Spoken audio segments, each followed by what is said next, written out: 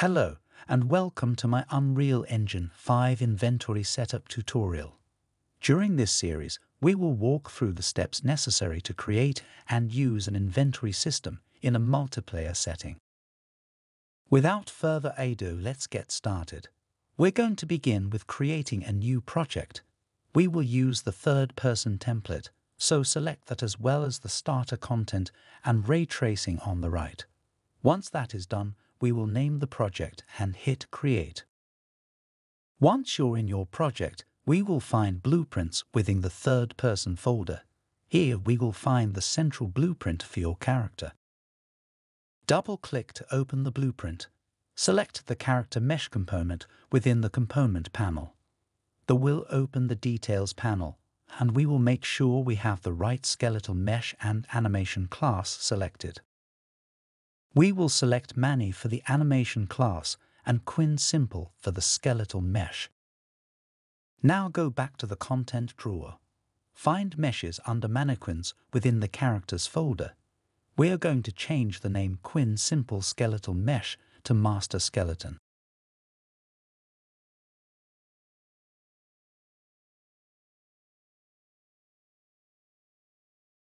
Go back to the third-person blueprint and rename it to master character.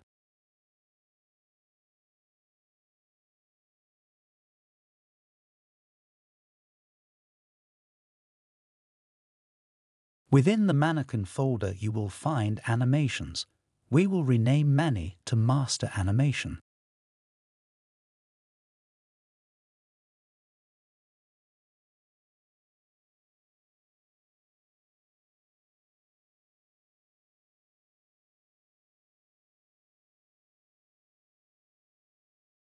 Next, we will create a folder called Inventory Component.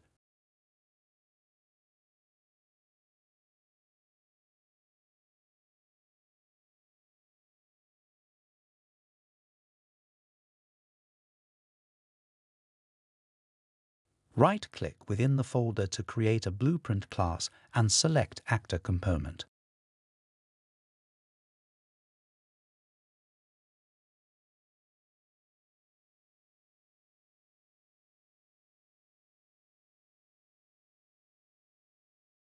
Now we will go back into the master character blueprint and we're going to add the inventory component we just created.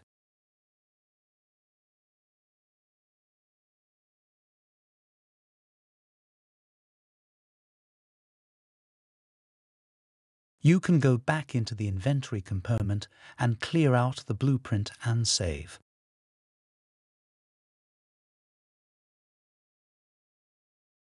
Now we're going to add our inventory widget. For a widget, we go to User Interface and select Widget Blueprint. We will go into the widget blueprint.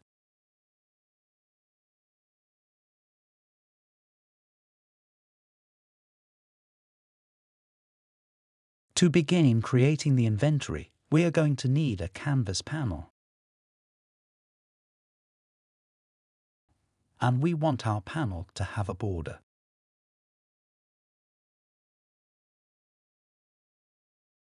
We will anchor our panel to the middle right side of the screen.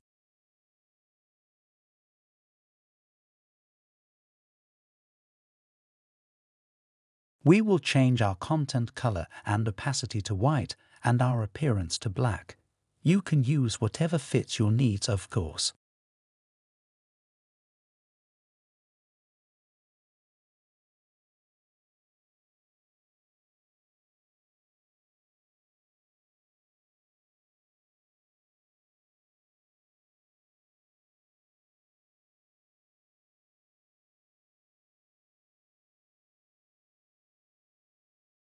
Next, we will open our inventory component and add our first function.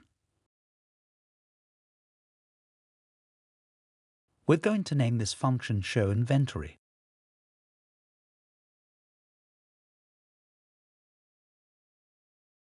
Double-click the function to go to the blueprint and we are going to add a widget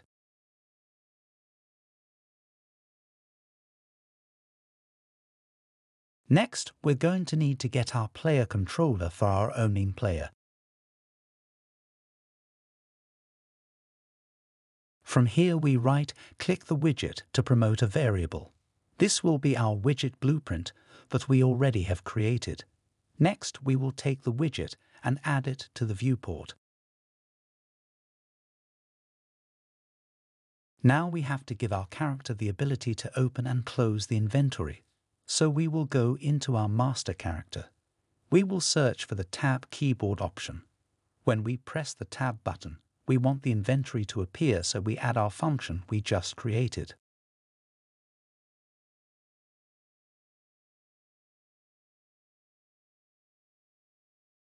To make this a toggleable action, we will add a flip-flop between the keyboard action and the function.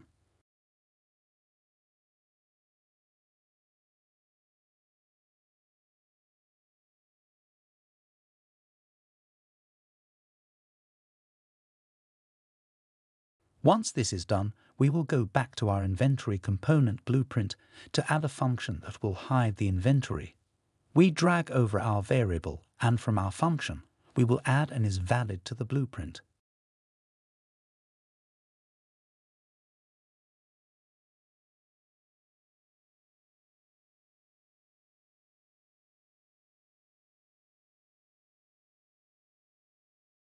We add our inventory variable once again and search for remove from parent.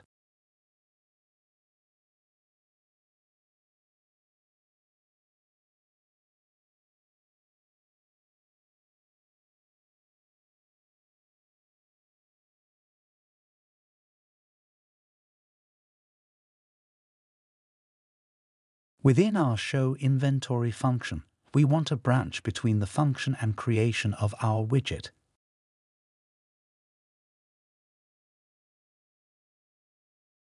We attach our local player controller to our branch.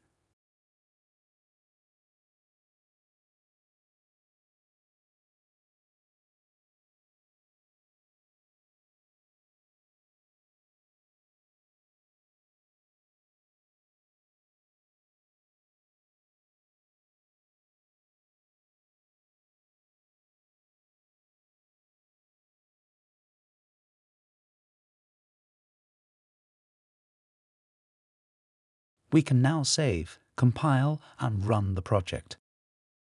And there it is. We have an inventory that opens and closes when we press Tab. This is just the first episode of this series, and in our next episode, we will add the ability to pick up items. Make sure you like and subscribe to receive notifications of the next episode. Until then, check out some other videos from one of our channels.